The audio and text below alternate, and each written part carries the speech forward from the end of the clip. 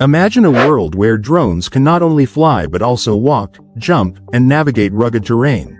Just like birds. Meet Raven, a groundbreaking innovation inspired by nature's most agile flyers. Stay tuned to discover how this bird-inspired robot is redefining drone technology.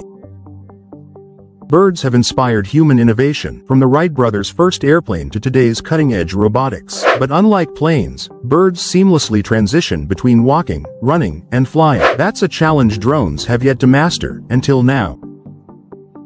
Raven's legs are a marvel of engineering, designed to maximize movement while minimizing weight. Its legs mimic bird tendons and muscle, combining springs and motors for agility. The articulated feet allow it to walk, traverse gaps, and even jump up onto surfaces as high as 26 centimeters.